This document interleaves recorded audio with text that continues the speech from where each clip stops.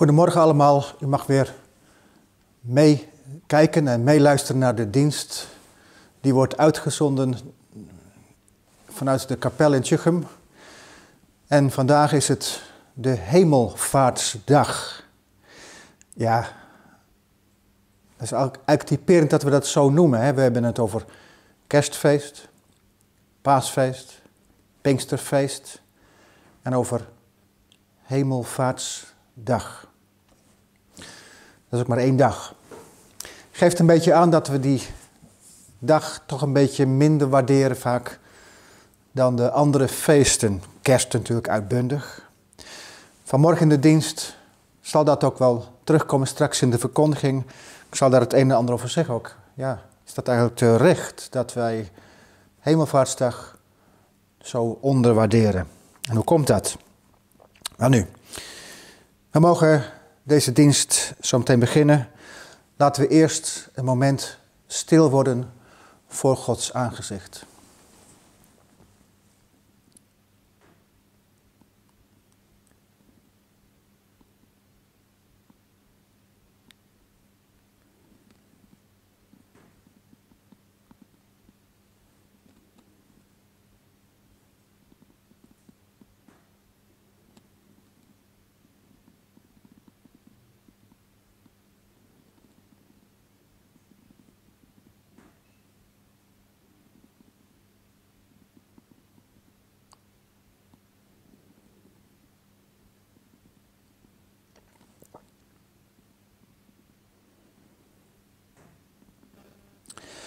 Onze hulp is in de naam van de Heere, die de hemel en de aarde gemaakt heeft, die trouw blijft tot in eeuwigheid en die nooit loslaat de werken van zijn handen. Gemeente genade voor u en vrede van God onze Vader en van de Heer Jezus Christus door de Heilige Geest. Amen. Een lied voor de Hemelvaartsdag is gezang 229. De dag van onze vorst brak aan. Zie, Gods gezalfde koning gaat tot zijn hemelwoning. De eerste vier versen van het lied gezang 229.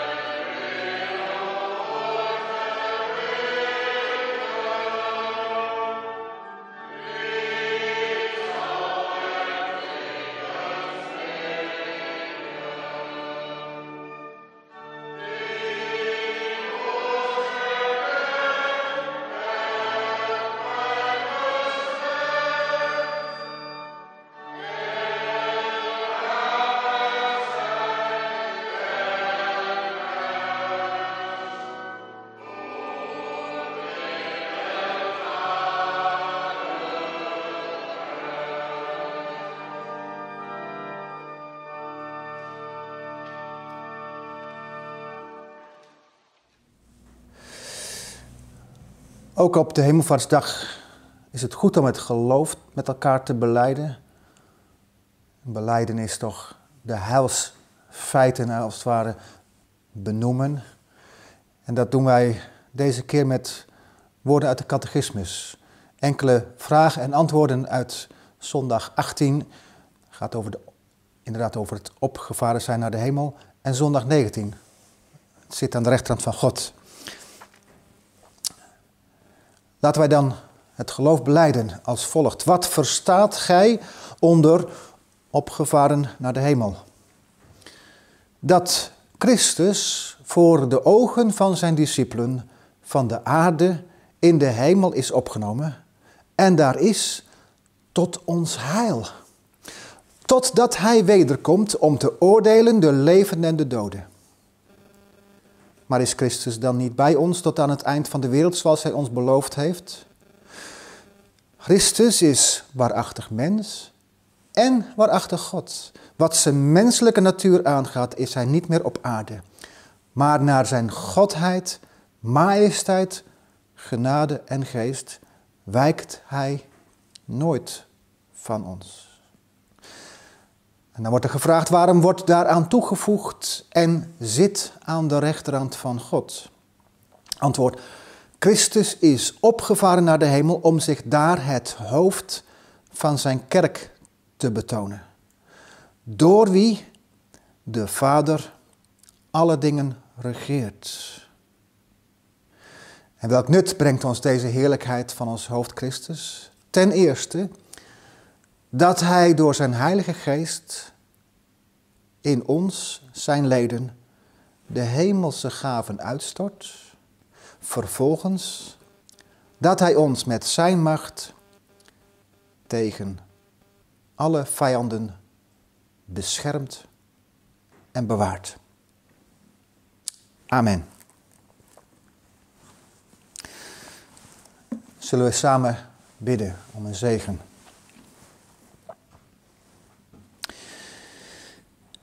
Ja, heren, zo mocht het weer Hemelvaartsdag worden. Die dag brak aan van onze vorst. De gezalfde koning gaat tot zijn hemelwoning.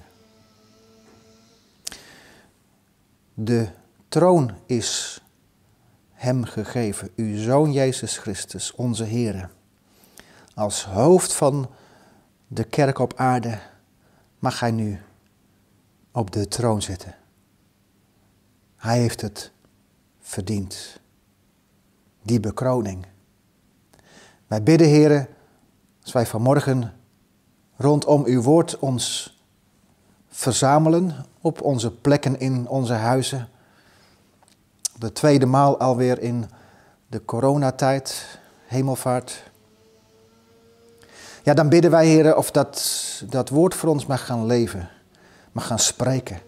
Dat het voor ons open gaat, dat het geen loze woorden zijn, dat het niet een historisch feit is alleen, maar veel meer nog een heilsfeit. Een feit waaraan ons heil hangt, want u bent toch naar de hemel gegaan, Heer Jezus, niet voor uzelf, maar voor uw kerk op aarde.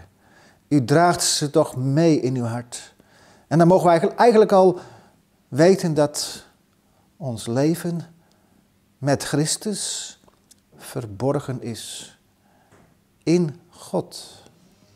Wat zijn dat rijke en diepe uitzichten? En we, sta, we verstaan er zo weinig van. Want wij leven zo bij het aardse.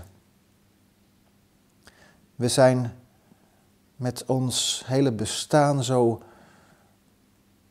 ja, gehecht en zo vastzittend aan het hier en het nu. Hoewel we allemaal weten dat het voorbij gaat. Hoewel we allemaal weten dat het geen houvast geeft. Hoewel we allemaal weten dat het allemaal maar voor even is. En toch, heren, wat wordt onze blik weinig omhoog gericht? Wat trekt die wereld onze aandacht steeds maar weer? Wat zitten we vast gekluisterd aan onze schermen? Alsof het daar vandaan komt. Alsof dat ons nou vreugde brengt. O Heer, laten we toch doen wat dat lied zegt.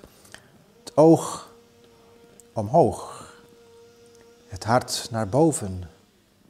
Hier beneden is het niet. Verstaan we dat? Of zoeken we toch nog hier? We bidden, Heer, mag het zien van de Heer Jezus vanmorgen onze blik naar boven richten. Mogen wij Hem zien in zijn heerlijkheid, in zijn eer, op zijn troon, aan uw rechterhand. Niet om daar van een afstandje toe te kijken. Nee, u bent daar juist om de wereldwijde kerk, de kerk van nu, van vroeger, van alle tijden, van alle plaatsen, te leiden, te regeren. Nee, het hoofd van de kerk vinden we nergens op aarde. Niet in Rome, maar ook niet in de synode. Niet in domineesfiguren. Nergens. Het hoofd is daarboven in de hemel. En u regeert niet alleen over de kerk, maar over de wereld. Ja, maar we zien het niet. O Heer, open dan vanmorgen maar onze ogen ervoor, dat we het gaan zien. U regeert. Zegen Heer de dienst, zegen het woord. En zend ook uw geest, want dat is zo verbonden met dat hemelvaartsgebeuren. Dat dat eigenlijk de, de voorbode is van het zenden van uw geest in de harten. Om zo ons door uw geest te leiden. We willen doen in deze dienst. Nu vragen wij dat eerbiedig en uit genade. In Christus naam. Amen.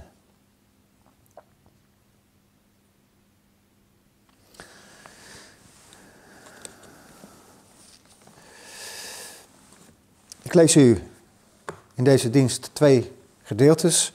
Het eerste gaat meer over het feit van hemelvaart, hoe, hoe daarover geschreven is. Vorig jaar, weet u misschien nog wel, hebben we uit Lucas gelezen, de zegenende handen. En nu lezen we, ja dat is ook van Lucas, maar dat staat in Handelingen. Handelingen hoofdstuk 1, vers 4 tot en met 11. En aansluitend, dat gaat meer over de betekenis van hemelvaart. Die prachtige Hebreeënbrief, eigenlijk gaat die hele brief, is eigenlijk geschreven vanuit het perspectief dat ja, de zoon nu aan de rechterhand van de vader is. En wat dat betekent, daar gaan we het over hebben. Handelingen 1, vers 4. Ik lees er ook even vers 3 nog bij. Hij heeft zichzelf, nadat hij geleden had, ook levend aan hen vertoond. Met veel onmiskenbare bewijzen, 40 dagen lang waarbij hij door hen gezien werd. En over de dingen sprak die het koninkrijk van God betreffen. En toen hij met hen samen was, beval hij hun dat zij niet uit Jeruzalem weg zouden gaan, maar de belofte van de Vader zouden verwachten, die u, zei hij, van mij gehoord hebt. Want Johannes doopte wel met water, maar u zult met de Heilige Geest gedoopt worden, niet lang na deze dagen. Zij dan die daar samengekomen waren, vroegen hem, Heren, zult u in deze tijd voor Israël het koninkrijk weer herstellen? En hij zei tegen hen, het komt u niet toe. De tijden of gelegenheden te weten die de Vader in zijn eigen macht gesteld heeft. Maar u zult de kracht van de Heilige Geest ontvangen, die over u komen zal. En u zult mijn getuige zijn, zowel in Jeruzalem als in heel Judea en Samaria en tot aan het uiterste van de aarde. En nadat hij dit gezegd had, werd hij opgenomen terwijl ze het zagen, en een wolk onttrok hem aan hun ogen. En toen zij, terwijl hij van hen wegging, hun ogen naar de hemel gericht hielden, zie, twee mannen stonden bij hen in witte kleding, die ook zeiden, Galileese mannen, waarom staat u omhoog te kijken naar de hemel? Deze Jezus, die van u opgenomen is naar de hemel, zal op dezelfde wijze terugkomen als we hem naar de hemel hebt zien gaan. En dan vervolgens gaan we naar de Hebreeënbrief, Hebreeën hoofdstuk 2. dan moet ik even bij zeggen, in hoofdstuk 1 wordt een vergelijking gemaakt tussen de zoon, Jezus dus, en de engelen. Omdat er in die tijd de gedachte steeds meer om zich heen greep dat, ja, dat engelen hoger waren dan, dan Jezus. Want Jezus was mens geworden. Eh, engelen zijn toch hogere wezens. Hebben we dan niet veel meer de engelen nodig om bij God te komen in plaats van de zoon? Nou, daar gaat de Hebreeënbrief natuurlijk fel tegen in. En in hoofdstuk 2 vanaf vers 1 gaat dat als volgt. Daarom moeten wij ons te meer houden aan wat door ons gehoord is, opdat wij niet op enig moment afdrijven. Want als het woord dat door engelen gesproken werd al bindend was en elke overtreding en ongehoorzaamheid rechtvaardige vergelding ontving, hoe zullen wij dan ontvluchten als wij zo'n grote zaligheid, zo'n grote redding veronachtzamen, die in het begin door de Here is verkondigd en die aan ons is bevestigd door hen die hem hebben gehoord? God heeft er bovendien mede getuigenis aan gegeven door tekenen, wonderen en allerlei krachten en gaven van de Heilige Geest, overeenkomstig zijn wil. Want hij heeft de komende wereld, waarover wij spreken, niet onderworpen aan de engelen. Maar iemand heeft ergens getuigd, wat is de mens? Dat u aan hem denkt, of de mensenzoon dat u naar hem omziet. Zijn woorden uit Psalm 8 trouwens. U hebt hem voor korte tijd minder gemaakt dan de engelen. Met heerlijkheid en eer hebt u hem gekroond. U hebt hem gesteld over de werken van uw handen. Alle dingen hebt u onder zijn voeten onderworpen. Dat is allemaal Psalm 8. Want bij het onderwerpen van alle dingen aan hem heeft hij niets uitgezonderd dat hem niet onderworpen is. Nu zien wij echter nog niet dat hem alle dingen onderworpen zijn. Maar wij zien Jezus met heerlijkheid en eer gekroond die voor korte tijd minder dan de engelen geworden was vanwege het lijden van de dood, opdat hij door de genade van God voor allen de dood zou proeven. En hier eindigt de lezing en de tekst is Hebreeën 2 vers 8 en 9, maar dan niet heel die tekst, maar de kern daarvan, het middelgedeelte. Er staan twee zinnetjes over zien en niet zien. Nu zien wij echter nog niet, dat hem alle dingen onderworpen zijn. Maar wij zien Jezus met heerlijkheid en eer gekroond.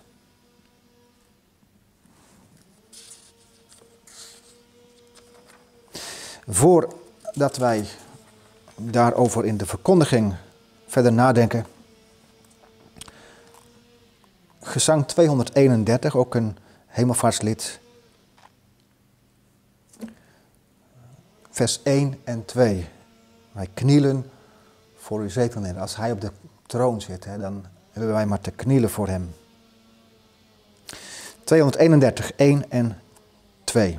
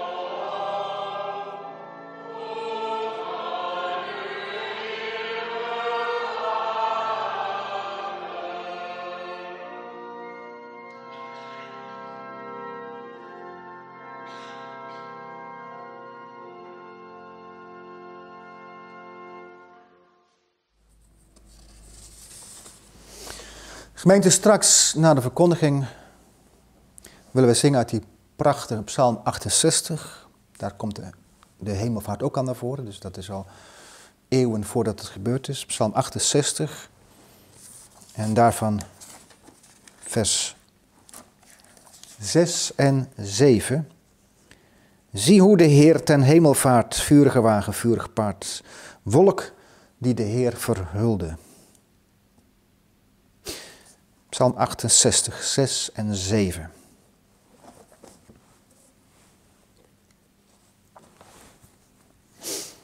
Gemeente Hemelvaart. Wat zien we ervan? Ja, niks eigenlijk. De discipelen toen, die erbij waren, ja, wat hebben ze eigenlijk gezien? Ook niet zoveel, hè? Er staat in handelingen, nadat hij dit gezegd had, werd hij opgenomen terwijl ze het zagen. Je ziet het als het ware voor je. Ze staan te kijken, daar gaat hij. Opgeheven, hij wordt opgetild van de aarde. Omhoog. En dan. Ja, en dan. Dan staat er en een wolk ontrok hem aan een oog. Dus er komt een wolk voor. En dan zien ze niks meer. Ja, dat kennen wij ook wel, hè? Dus in deze voorjaarstijd. We hebben al een paar keer buiten gezeten. Het is nog een beetje fris. Als de zon er is, is het heerlijk. Zit je lekker in de zon en dan komt er ineens zo'n wolk voor. En wat, wat zeggen we dan? De zon is weg. De hemelvaart van Jezus, wat is er van te zien? Wel dat hij uit het zicht raakt. Hij is weg. We zien hem niet meer. En eigenlijk begon dat al eerder, hè? na de opstanding. want voor de opstanding, Jezus als mens, die was altijd op een bepaalde plek te lokaliseren. Was misschien in zijn huis in, in, in, aan het meer van, van Galilea of op een andere plek of in Jeruzalem. Je kon hem opzoeken. Maar na de opstanding is dat voorbij. Dan is hij niet meer op, op één vaste plek waar je hem op kunt zoeken. Nee, dan zie je hem alleen nog maar. Ja, wanneer? Als hij zich laat zien. Dan begon mee. Hij heeft zichzelf, staat in handelingen, nadat hij geleden heeft, ook levend aan hen vertoond. Waarbij hij door hen gezien werd. Hij is dus in die 40 dagen meermalen gezien. Bij, onder andere bij dat, meer van, uh, van, van Tiberias. Maar is dat nu voorbij dan? Hij is weg. Zien we hem niet meer? Is dat nou de betekenis van hemelvaart, dat je hem niet meer ziet? Ja, dan is het ook geen wonder hè, dat wij hemelvaart niet als een feest vieren. Maar dan gaan we toch even terug naar die zon. Die zon die zo lekker scheen, weet je wel. Ja, als die achter de wolk verdwijnt, dan zeggen we dat wel. De zon is weg. Maar dat is natuurlijk niet waar. Als de zon weg was, konden we niet leven. En zelfs als de hele dag flink bewolkt is. Als ik dit opneem, is het ook bewolkt. Dan, dan zie je geen zon, nee. En toch, het is duidelijk dat de zon er is. Want het is dag. Het licht is er. En het is toch meer dan 10 graden. Nou, als er geen zon was, zou dat niet kunnen. Toch is de warmte van de zon er in deze wereld. Toch zie je hem dus eigenlijk wel. Niet rechtstreeks, maar op een andere manier. Het licht, de warmte. Als de discipelen Jezus zien verdwijnen achter die wolk, ja, dan is hij weg. Zijn plek is niet meer hier op aarde. Dat maakt het duidelijk. Ze mochten Jezus ook niet vasthouden in die aardse werkelijkheid. Houd mij niet vast, want ik ben nog niet opgevaren, werd tegen Maria gezegd. Maar is hij dan echt weg?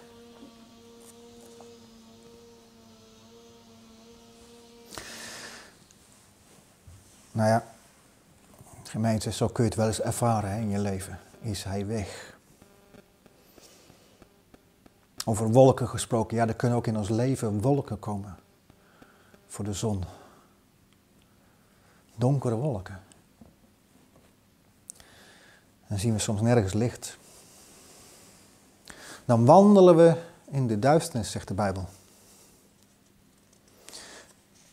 En toch, en toch, hij is te zien hoor. Hemelvaart. Ook na hemelvaart. Ja, op een andere manier. Hier in Hebreeën 2 staat het. Hoor maar. Wij zien Jezus. Wij zien Jezus. En hoe? Niet vaag, niet achter een wolk. Nee, wij zien Jezus met heerlijkheid en eer gekroond. Dat is wel wat anders dan de man van smarten zonder gestalte of glorie. Wij zien hem met heerlijkheid en eer gekroond. Wat betekent dat? Dat hij overwinnaar is. Hij is gekroond, gemeente. Met andere woorden, hemelvaartsdag of zeggen we toch maar feest, hemelvaartsfeest, is zijn kroningsfeest. Zijn kroningsdag.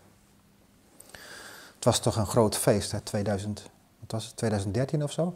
Willem-Alexander tot koning gekroond. Wat een feestdag.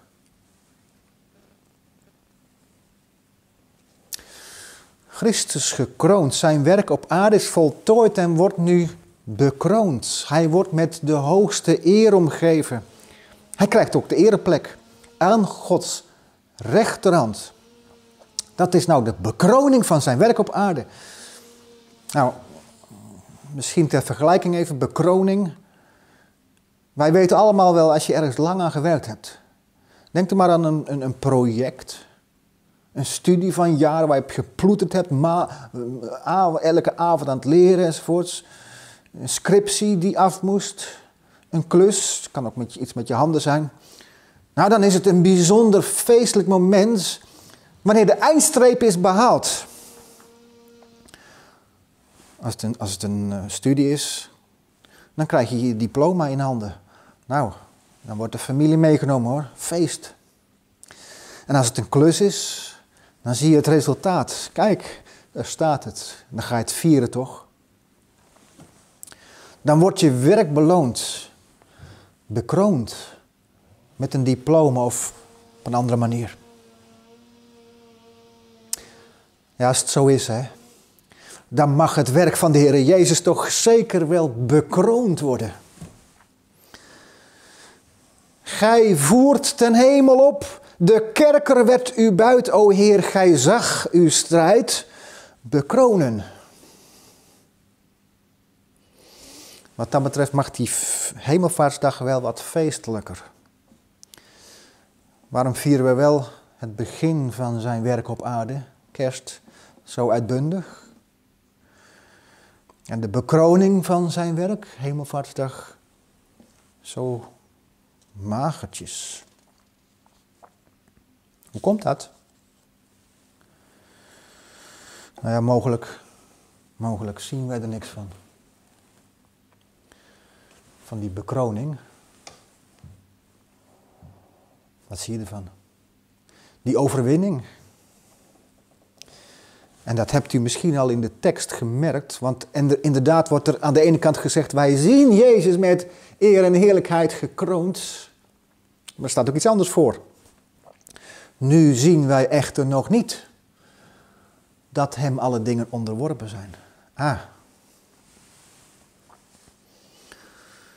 dat sluit meer aan misschien bij onze ervaring. Maar toch vreemd, hè? Waarom zien wij het ene dan wel en het andere niet? Het heeft toch allebei met zijn overwinning te maken. Want als hij gekroond is, dan zit hij op de troon, dan heeft hij alle macht. En als hij alle macht heeft, dan is toch alles aan hem onderworpen.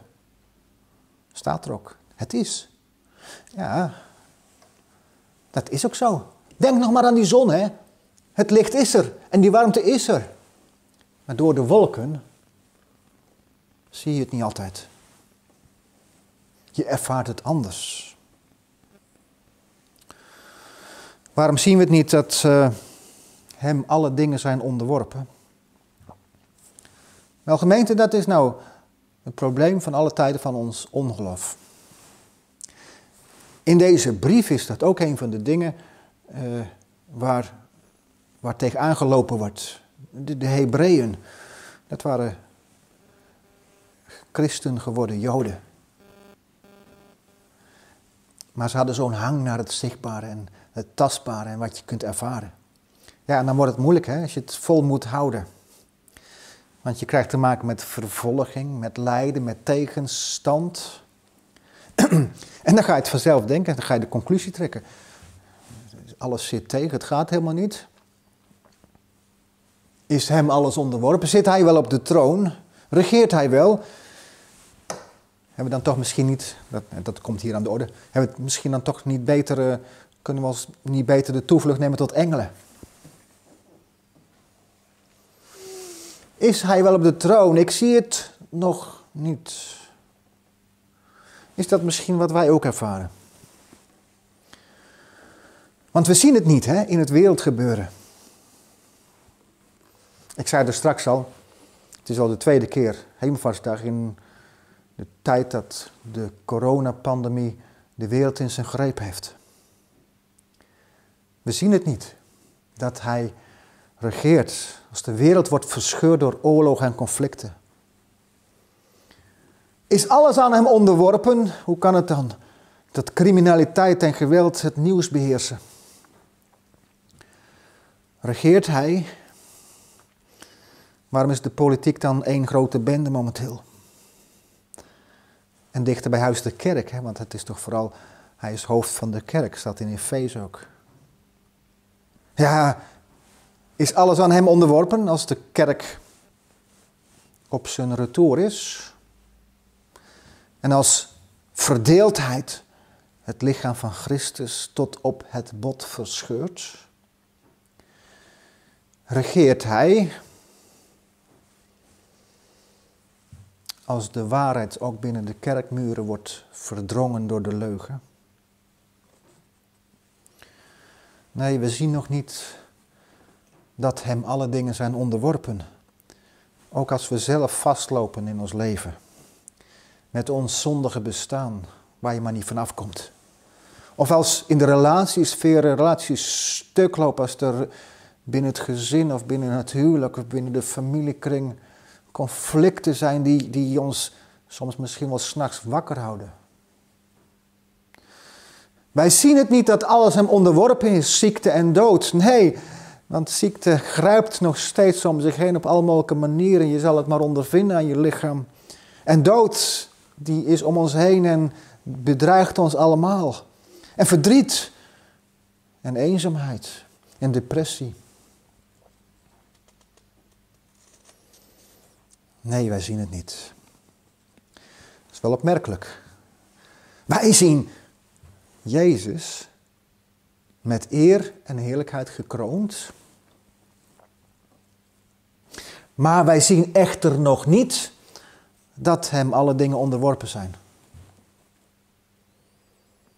En dat heeft ook voor een deel ook te maken met wat hier staat in vers 5. Want hij heeft de komende wereld, niet onderworpen aan engelen, maar aan de zoon. De komende wereld ja, dan zou je kunnen zeggen, het is nog niet gekomen.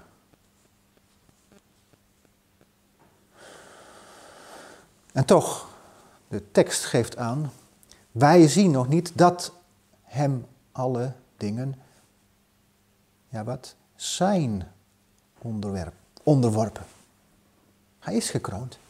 Maar, hij, maar ook alle dingen zijn hem onderworpen. Nou, hoe, hoe zie je dat ene dan? Hoe zie je dat dan wel? Met heerlijkheid en eer gekroond. Wij zien Jezus. Nou is het woord zien wat hier wordt gebruikt. Niet zomaar zien zoals wij met het blote oog de dingen zien om ons heen. Nee, er staat een woord dat, dat kan ook iets diepers betekenen. En dat is hier wel duidelijk.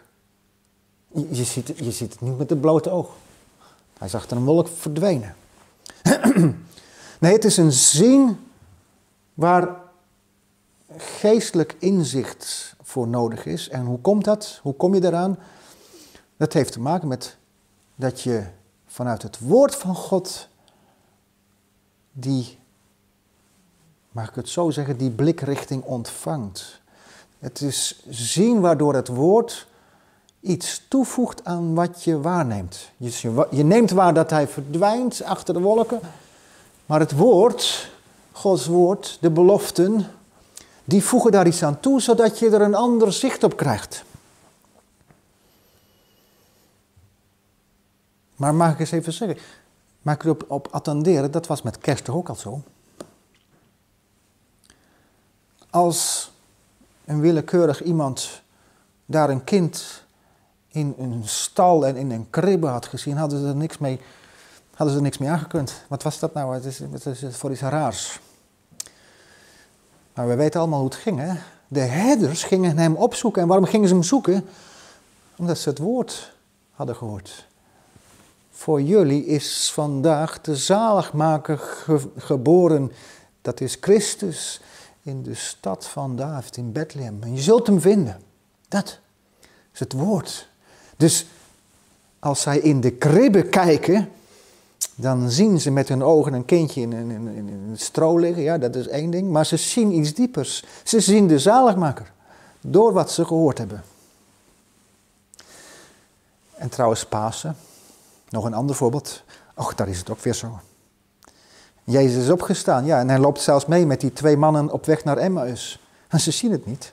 Ze zien, ja, ze zien wel een vreemdeling naast zich lopen, maar ze zien niet in, ze vatten het niet wie hij is.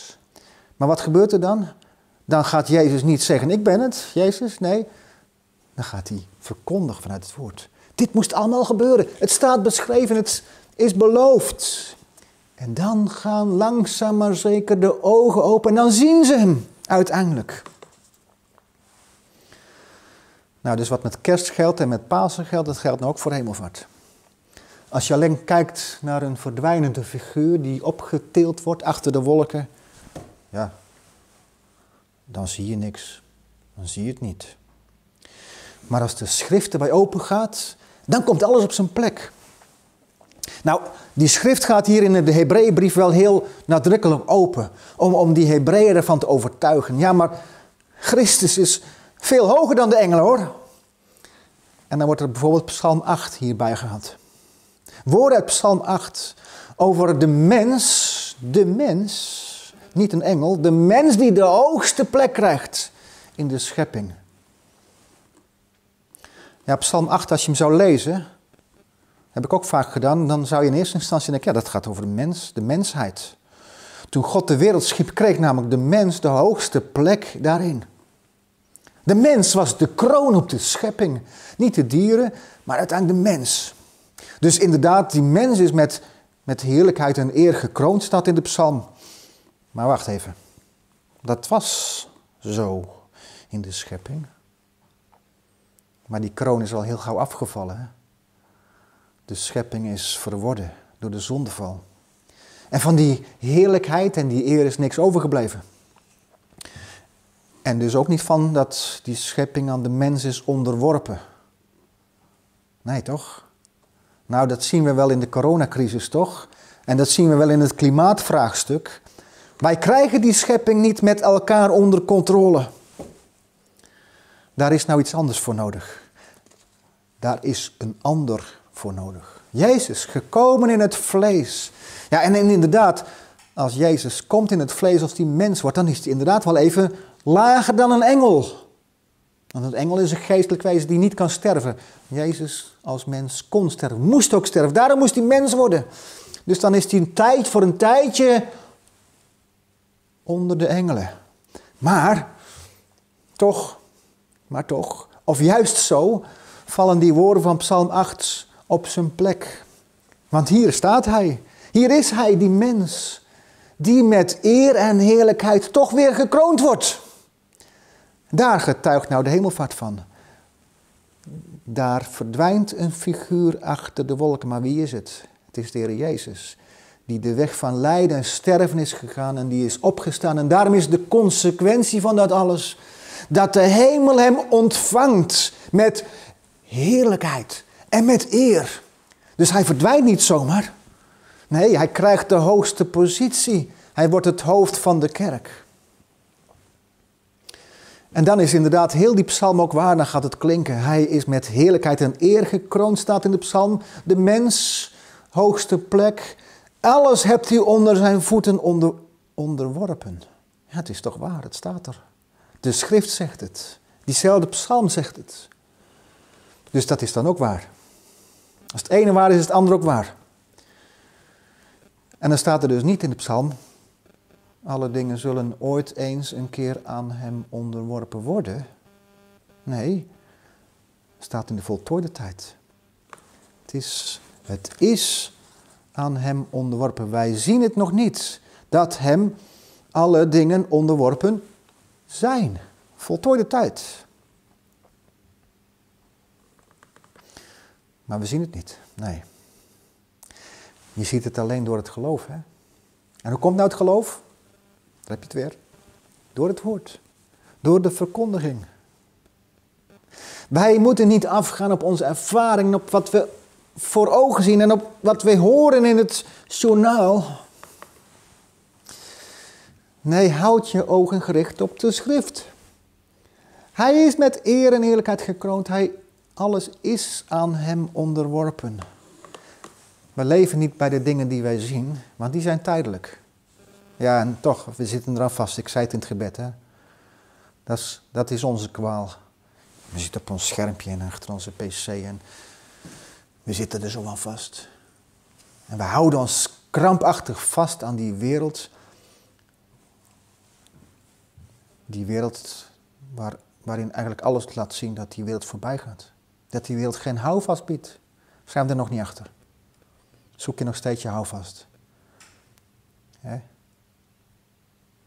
Je kan je wel beschermen tegen corona op allemaal manieren met vaccin en noem het maar op. Het is goed om te doen, maar denk je daar houvast in te vinden? Denk je weer het leven van vroeger te kunnen ervatten? Het is te hopen dat we bevrijd worden van die waangemeente. Wij moeten deze aarde verlaten, vroeg of laat. Vroeg of laat. Het kan morgen al zijn. Het kan ook over 50 jaar zijn, dat weten we niet. Maar het is zeker dat het gebeurt. Geef je dan toch niet over aan die wereld. Maar richt die blik nou eens omhoog. Daar is hij. Hij die zijn gemeente heeft gekocht met zijn bloed. En als hij ons gekocht heeft, dan is hij ook het rechtmatige hoofd van die gemeente. En hij bestuurt het uit de hemel. De kroningsdag is gekomen, hemelvaart. En tuurlijk, die tegenstand is er. In, de wereld om ons heen, in de kerk, in ons eigen hart. Moeten we vooral niet vergeten, daar zit ook tegenstand, tegenwerking tegen Gods wegen met ons leven. Maar we hebben het daarom ook over de komende wereld die aan Hem onderworpen is. Is. De komende wereld. De wereld die aan het komen is, het koninkrijk van God. Daar gaat het over. Dat is al beginnen te komen toen de Heer Jezus op aarde kwam. Maar dat blijft komen. Dat is, blijft bezig te komen in deze wereld. Het groeit om zich heen nog steeds, wereldwijd. Omdat Hij regeert. Omdat Hij op de troon zit. Het loopt niet uit de hand hoor. Ja, wel voor de politici en de, de regeringsleiders. Die zitten met hun handen regelmatig in het haar. Hoe moet het nou? Hoe krijgen we het nou nog in het gareel? Hoe krijgen we het eronder? Nee, dat krijgen we niet. Daarboven wordt die vraag niet gesteld hoor. De vraag hoe krijg ik die wereld eronder? Nee hoor. Die wereld is aan hem onderworpen. En hij hoeft maar te spreken en het is er. Hij hoeft maar te gebieden en het staat er. En dat hebben de discipelen ook ondervonden na het verdwijnen van Jezus achter de wolken. ze moesten wachten op de geest. En dan gaan ze de wereld in met het evangelie en dan merken ze het.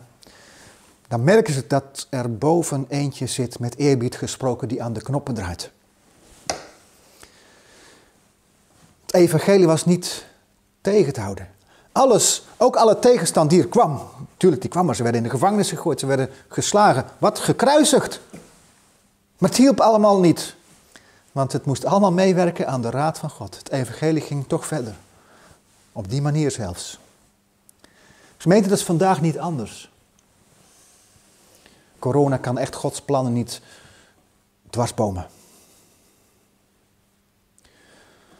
Zijn woord zegt het. Dat die toekomende wereld, die al in Jezus is gekomen, ook al zien we het nog niet, helemaal zal komen. En hemelvaart is, ik zou zeggen, een tussenfase, een voorbode van. De engelen zeiden het, straks komt hij terug hoor. Dus dat is, dat is het enige wat zeker is. Hij komt terug. Maar dat zegt God. En God zegt nooit iets wat hij niet waarmaakt. Dus hij is niet weg. Hij heeft het niet losgelaten. Hij heeft zich niet teruggetrokken. Nee, hij regeert tot hij terugkomt om te oordelen over ons leven. Om te voltooien wat nog niet zichtbaar is. Gemeente, mag je het al zien? Daar gaat het om, hè? Mogen wij geloofsogen ontvangen? Staat in Johannes 3, gesprek met Nicodemus. Tenzij iemand wederom geboren wordt, kan hij het koninkrijk van God niet zien. Nee, dan zie je er niks van. Ooit gingen Russische astronauten de ruimte in. Ze kwamen terug. We hebben God niet gezien. Nee, kan ook niet. Jezus zweeft ook niet ergens in de ruimte rond. Ben je gek? Je ziet hem. Je ziet hem als het woord open gaat. Als het in je hart komt. Als je je in geloof aan hem overgeeft. Heb je dat al gedaan? Anders zou ik zeggen, doe dat vandaag nog. Dat is het beste vaccin, hè? Want het vaccin voor corona, dat helpt misschien wel ergens voor. Tegen corona. Beschermt je en beschermt misschien anderen voor, tot op een zekere hoogte. Maar beschermt je leven niet, hè? Laat je toch niks wijsmaken. Je hebt hem nodig. Met heel je hart, met heel je leven. Werp je maar voor hem neer. Wij knielen voor uw zetel neer. Dat is wat wij hebben te doen op hemelvaart. Mag je het zien? Dan ga je hem zien. Hè? Daar zit hij. Zien we hem? Met heerlijkheid en eer gekroond. Onze koning. Zien we hem? Dan mag je het ook zien door het geloof. Alles is aan hem onderworpen. De wereld, de kerk, ook ons leven. Met eer en heerlijkheid die hem toekomt. Want hem komt toe alle eer, alle lof, alle heerlijkheid tot in eeuwigheid. Amen.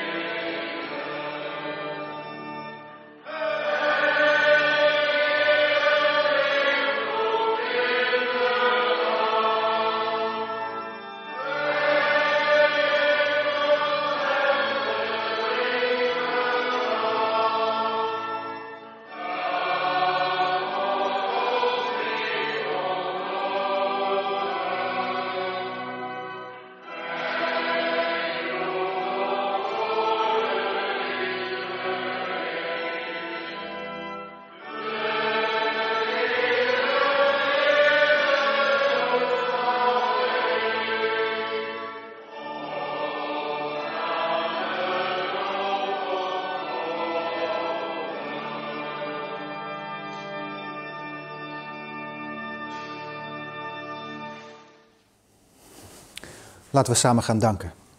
Heren, wat een wijde blik wordt ons gegeven. Wij mogen vanmorgen als het ware met een verrekijker achter de wolken zien.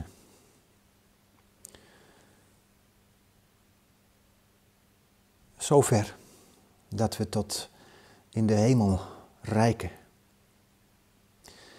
En dan zien we het. Daar zit Hij. Daar zit u, Heer Jezus. Onze koning. Voor ons geleden. Voor ons gestreden. Voor ons gestorven. Voor ons opgestaan. Voor ons ten hemel gegaan. Ja, dan mogen wij het weten. Dan zal ook mijn leven verlost zijn en verlost worden. Dan mag ik straks ook weten dat mijn leven met Christus in God verborgen is. En ja, dan zal ik ook, zoals Paulus ons oproept, de dingen zoeken die boven zijn. Die dingen die we vanmorgen gezien hebben, die zijn er. De macht en de eer, de heerlijkheid, het bestuur over de wereld, de leiding over de kerk, het bestuur over ons eigen leven. Het is er allemaal. Geef ons toch dat geloof. Dat u werkt door het woord. Want als het woord werkt, wordt het woord in ons hart gezaaid. Worden we wedergeboren tot een levende hoop. En dan, ja dan, gaan we het zien. Open onze ogen als die nog gesloten zijn voor deze dingen. We zijn misschien wel christelijk, kerkelijk en geloven zelfs misschien nog wel dat het hemelvaartsfeit dat het waar is. Maar we hebben er geen binding aan, we zien niet verder. Geef ons geloof, Heer. Open de ogen. Open de harten. Omdat wij knielen voor uw zetel neer. Omdat wij deze wereld buigen zullen voor, niet voor de overheid, niet voor de machten van het kwaad, maar buigen zullen voor Jezus. Zegen uw woord. Ga met ons hier in Siddeburen, in Tjuchem, in Steendam, in de wijde omgeving, als we uw woord horen. Laat het Heer tot zegen zijn, opdat wij er deel aan zullen hebben voor eeuwig. Opdat we uit gaan zien naar de verlossing die volkomen wordt door de dood heen, door uw komst. Dan zult u alle heil volmaken. Gedenk zo uw gemeente op aarde in de strijd. Richt het oog naar boven en het hart want hier beneden is het niet. Maar daarboven, ja, daar is het. Want daar is Hij. Mijn Heere en mijn God. Mijn koning. Die alle kronen mag ontvangen. Ja, laten we dan Hem kronen. Met vele kronen. Met gouden kronen. In Jezus' naam bidden wij het alles. Uit genade. Amen. En ja, dan zullen we met dat lied maar eindigen. Het staat in Johan de Heer 722. Kroon hem met gouden kroon. Het lam op zijn troon.